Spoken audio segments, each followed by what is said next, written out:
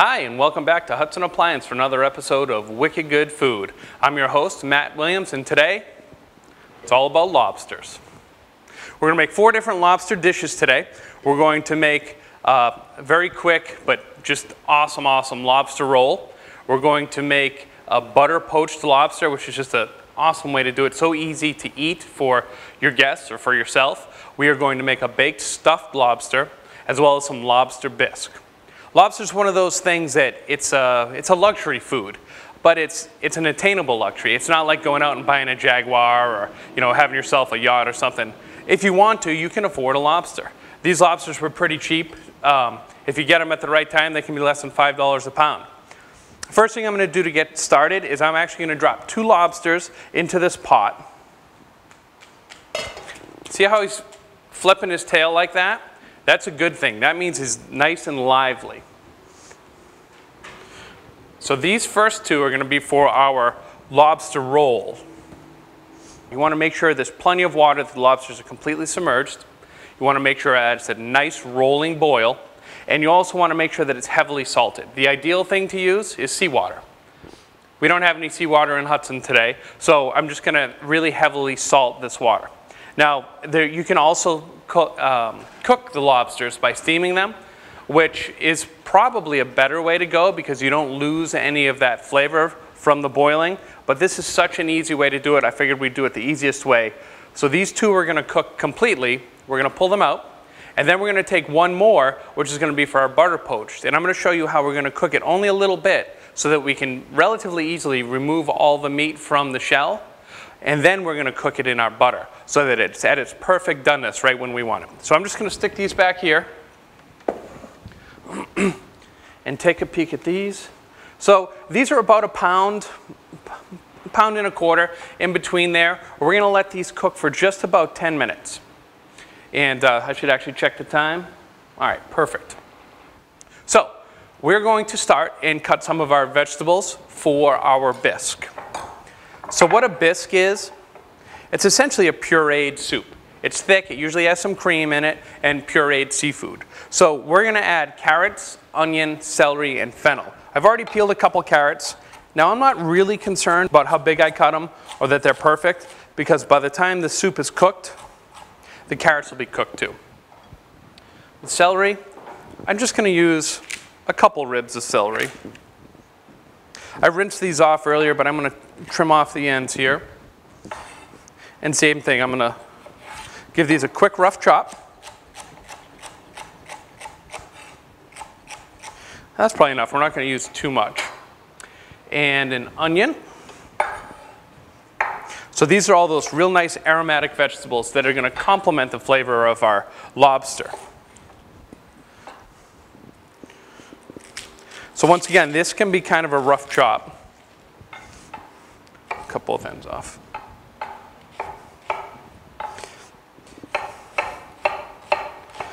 Now I didn't preheat my pan at all because these induction pans, actually yes I did. These induction pans heat up so, so fast, this induction stove. So I'm going to start to get our pan to warm up a little bit. And the other thing we're going to use is some fennel. Now, people, not everyone is familiar with fennel, but fennel is a wonderful, wonderful um, vegetable. It kind of looks like dill on the top. These fronds will stick out, you know, a good foot and a half, two feet sometimes.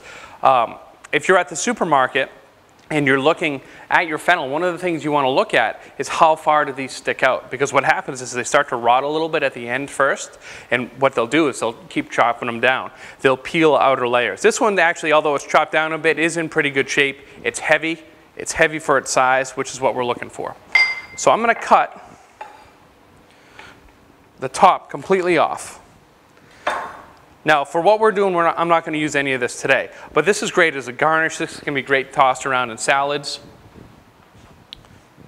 So now we'll take this bulb of fennel, which is a great anise flavor. I'm going to cut it in half. And if you can see, there's a core that runs right here in the middle. I'm going to use the tip of my knife and remove that core out of there. Just get that out of the way. And then I'm going to rough chop some of this. If there's any really um, brown parts on one of the levels, just get rid of that part. You don't have to get rid of the whole thing. We check our time here. All right, we're doing all right. So next I want to, I've got carrots, beautiful. I'm gonna throw my butter in the pan. This pan actually heated up more than I wanted it to, so we'll probably get a little sizzle. So I'm gonna add our vegetables right away to help cool that pan down. Because I'm not really looking to brown these vegetables at all. Beautiful. That'll quiet down in a second. So we're just gonna sweat our vegetables. Now the other thing we're going to use vegetables for is our baked stuffed lobster. So I'm gonna take the other half of this onion, and for this, I wanna be a little more careful with how I cut it. And I'm gonna cut this, Let's remove the rest of this peel.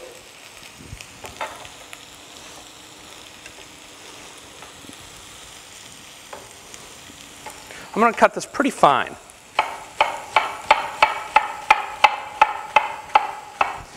Like you've seen me do before, I make little cuts, making sure not to go through the core of the onion. And I'm just going to come and cut perpendicular to those. Perfect. All right. And that's actually going to be all we're going to use. I'm going to put this right in the cup that had our butter in it.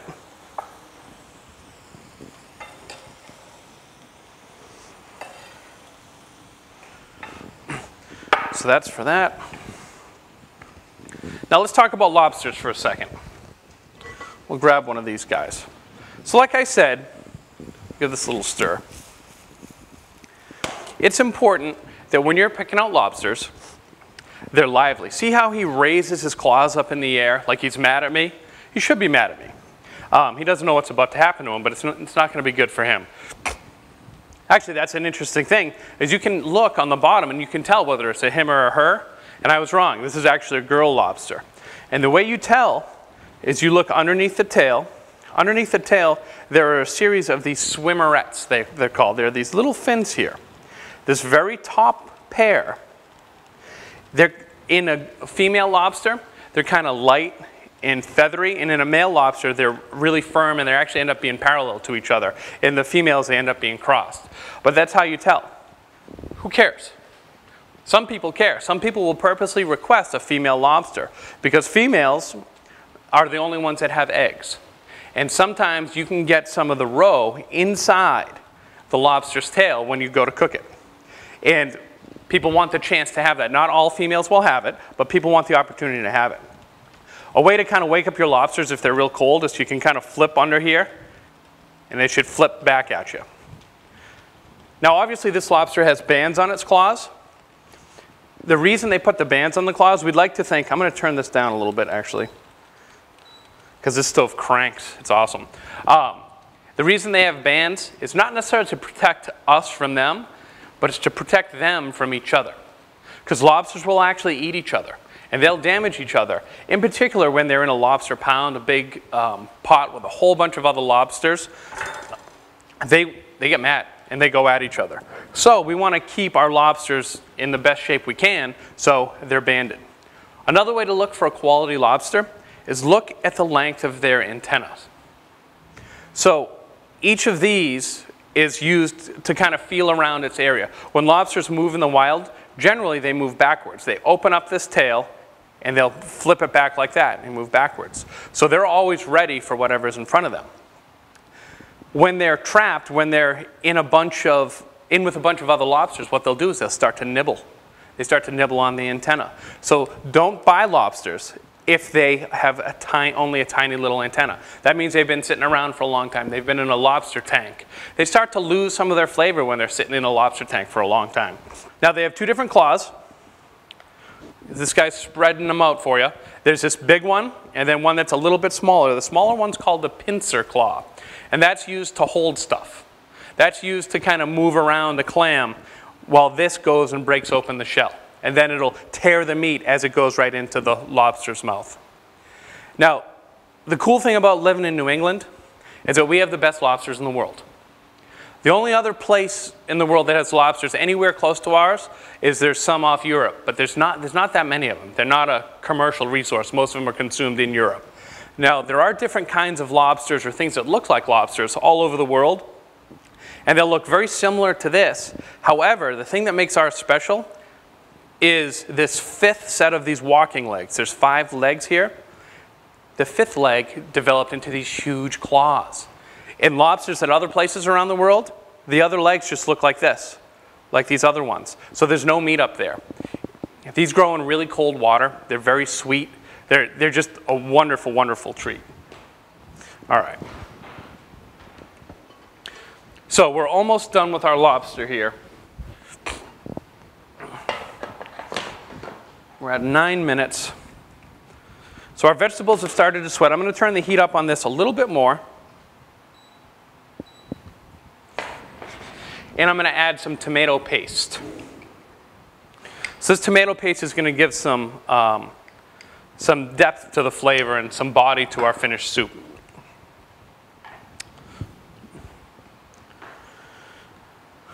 All right, so now, check it out.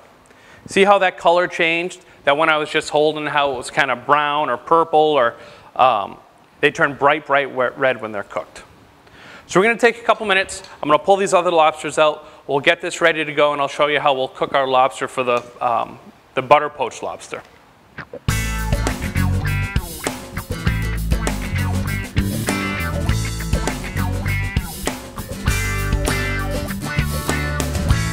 All right, welcome back. So our lobsters are out. We've given them a few minutes to cool down because we're going to pull the meat out of them. You want to do it while they're still warm.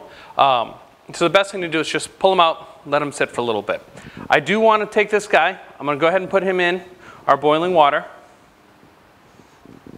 Actually, let's check. Yeah, that was a guy. Okay, we're going to put him in the boiling water. We're going to cook for four minutes. This is the one we're going to butter poach and we're going to pull the meat out of. So I'm going to take a look at our clock so I know what we're doing.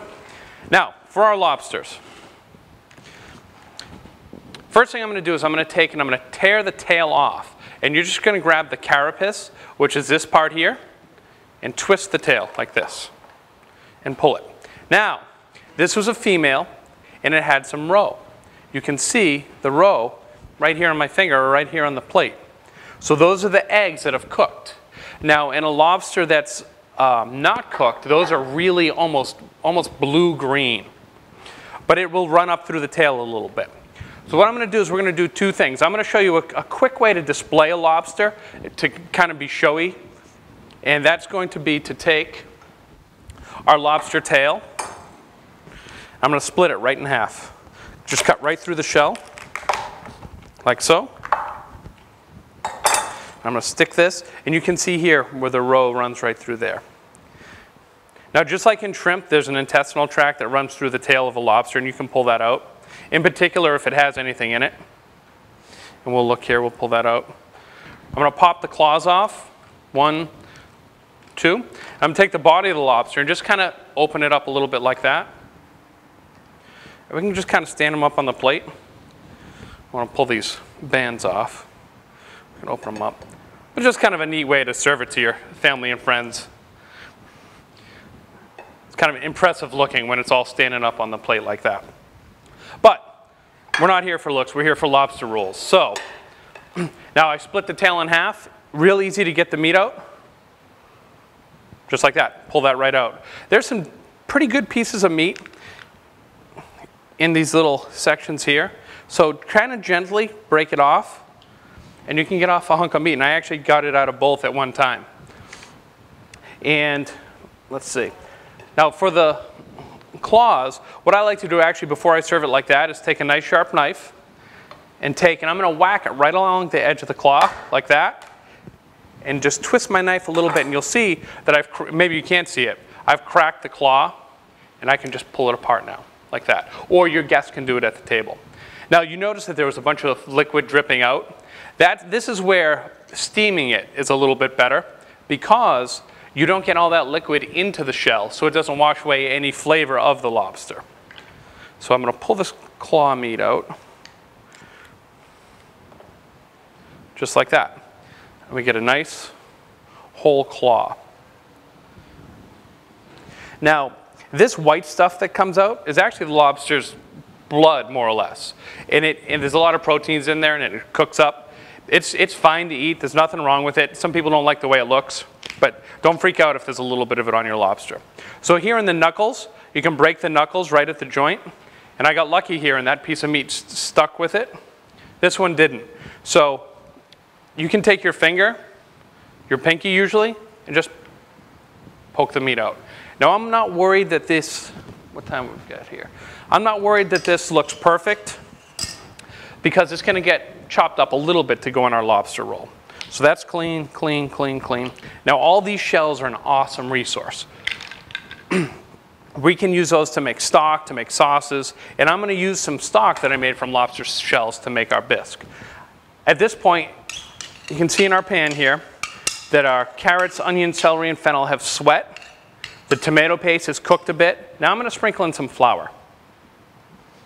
And this is gonna be the thickening agent for our soup. I'm gonna mix this around, and I wanna keep this on nice low heat for another 10 minutes or so to let that roux cook.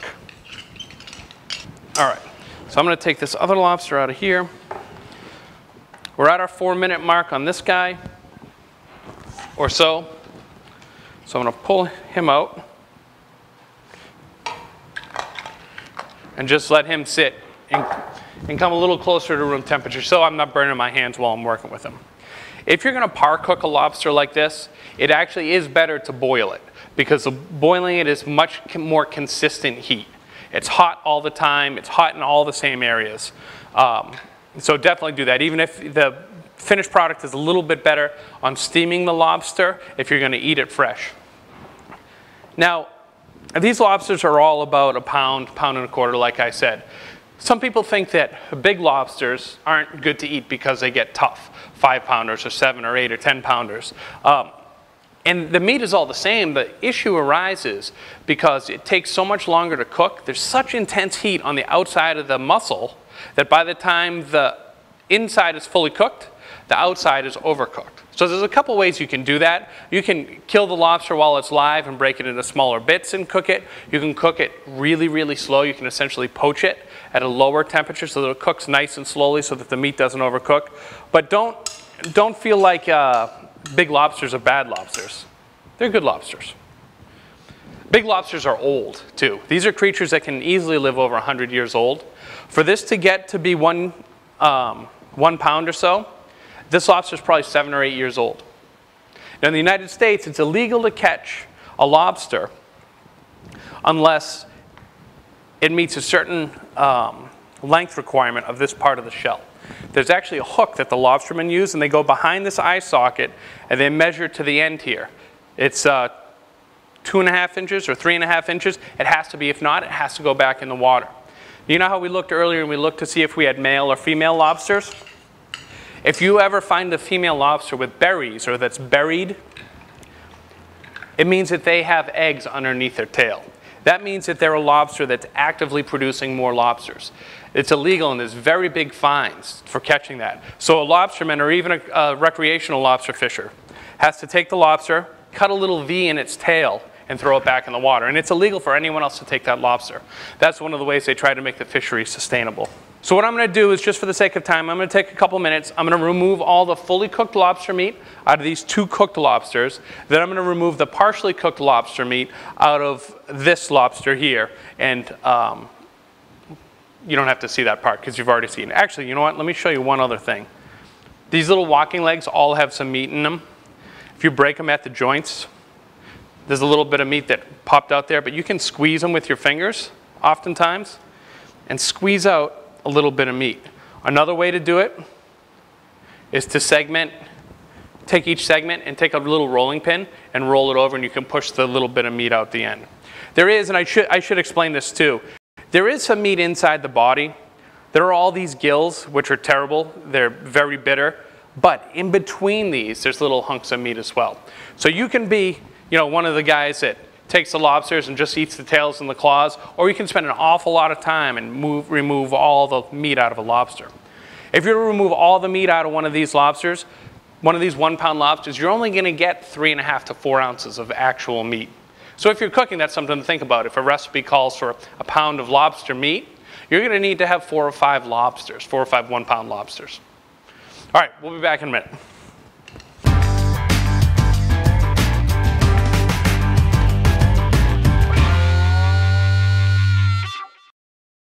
All right, so our soup is simmered good and long. Our vegetables are nice and tender. I'm going to use this immersion blender, stick it in here, and puree it. Like I said before, this is a chunky soup. So we want there to be chunks. We don't want to get it super smooth. We're not going to strain it. And that's pretty good. Mom, if you're watching, do you recognize this? I borrowed this from your house this morning. So our soup is essentially done. We're going to add a little bit of cream to it. Or a lot of bit of cream, sure, why not? Give that a stir. So now this has gotten most of its lobster flavor from that stock that we made. We are going to chop up a little bit of lobster and throw it in there and I use some couple big hunks as garnish. I want to quickly make our lobster salad. I like to use a little bit of celery because I really like the crunch from the celery. We don't need too much though, and I don't want to overdo it with the celery. But I'm going to relatively finely dice some here. And we're going to put some of that oops, right in there. And actually, we're going to stir this all together in this bowl so you can see, and so it's a little bigger. So I didn't break up the lobster too much. I did chop up a little bit of tarragon, though, and throw it in the bowl. I'm going to add a little bit of mayonnaise to this. Not too much, just enough to kind of hold it together. And I like to add a little bit of lemon, just for a fresh little zing of acid. That should be enough. And this is it. Big, big hunks of lobster. Oh, look at this. I toasted some New England style hot dog buns. The New England ones are cut on the sides. That way they absorb more butter. So we're going to take some of our lobster salad, spoon it right in. Big hunks of lobster.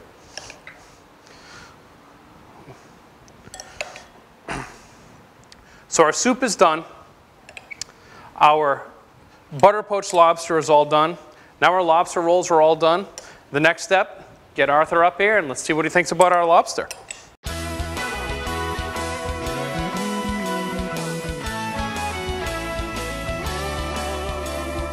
Hey Arthur. Hi Matt, welcome back. Thanks for having me here again at Hudson Appliance. Today was lobster day on Wicked Good Food. This is a good time of the year for lobster. Yes, it is. Yes, it is. They're all almost all good times of the year for Yeah, lobster, but this yeah. is the best. Nice hard shells, relatively low in cost, which is awesome. We made four different dishes today. Really? One of them you're not going to be able to see in the show, though. It's going to be online exclusive content. So if you want to see our baked stuffed lobster and how to make it, you have to go to hudsonappliance.com and check out the Wicked Good Food link. But on the show, we made a lobster bisque. We made a butter poached lobster, which is like a lazy man's lobster casserole soaked in butter. That's my favorite. That's what I'm talking about. And just a great classic New England lobster roll, nice buttered buns, and a little bit of tarragon in there. Okay. So Can we let's, uh, try this? Sure. Let's go ahead. Let's do the lobster roll first. All right. We'll just take a piece of it here. Oh, it is tasty. Like Very that tarragon in there, yeah? Yeah, Good lobster flavor, not too much. Mm. Not too much stuff in it. Let's try this over here. All right. Find a little piece here. After the show, I'll eat the rest of it. That's right. Oh, that's delicious. Right? It's like totally soaked with butter. Mm. And uh, why not, right? Very good. Very good. Then we can give our biscuit whirl here. This is one of my favorites. Mm. Mm. So kind of pureed vegetables in there and some lobster. Yep. Now that's Wicked wicked, good. good.